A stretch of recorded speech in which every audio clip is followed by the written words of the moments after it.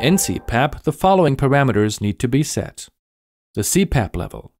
Press, adjust, and confirm the setting. The ventilator will then adjust and automatically show the delivered flow and display the actual CPAP pressure. To maintain a stable CPAP level in this mode, the Fabian has an automatic leak compensation, which may increase the flow to a maximum of 40% of the initial flow used for the preset pressure level. The P manual button allows you to set the desired pressure level during manual inflation to the patient in case of apnea, a lung recruitment maneuver, or sustained inflation. Press the manual key button and keep it pressed to deliver the desired inflation. The oxygen may be regulated accordingly between 21 and 100%. Press, adjust, and confirm the setting.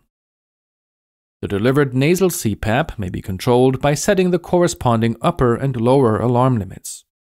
Press the alarm key button to enter the alarm limit screen. Select the desired limit, adjust, and confirm. By pressing the Auto Set button, the limits will be adjusted accordingly. Press the Home key to exit to the main menu screen.